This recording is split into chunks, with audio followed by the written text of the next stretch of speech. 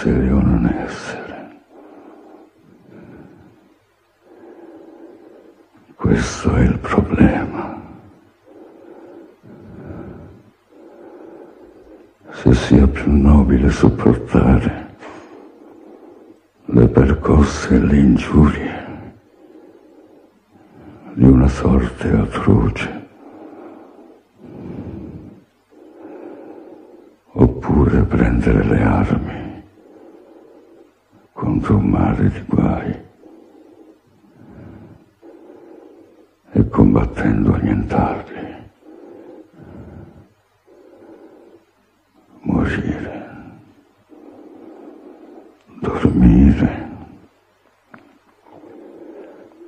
niente altro. E dire che col sonno mettiamo fine dolore del cuore e ai mille colpi che la natura della carne ha ereditato.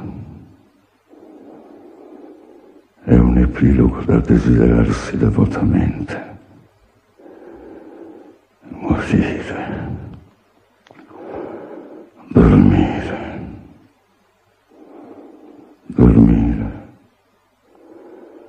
forse sognare. Ah, c'è l'ostacolo, perché in quel sonno di morte il pensiero dei sogni che possono venire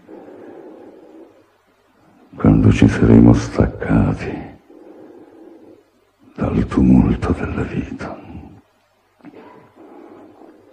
Ci rende esitanti, altrimenti chi sopporterebbe? Le frustate e lo scherno del tempo, le ingiurie degli oppressori, le insolenze dei superbi,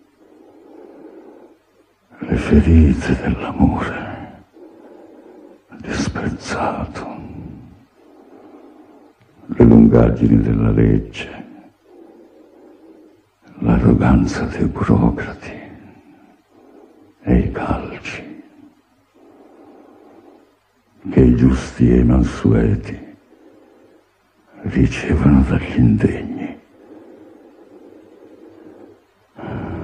Qualora si potesse far tornare il conto con un semplice pugnale, li vorrebbe portare dei pesi per gemere e sudare sotto il carico di una vita logorante. Se la paura di qualche cosa dopo la morte, il paese inesplorato dal quale nessun viandante ritorna, non frenasse la nostra volontà, facendoci preferire i mali che sopportiamo ad altri che non conosciamo.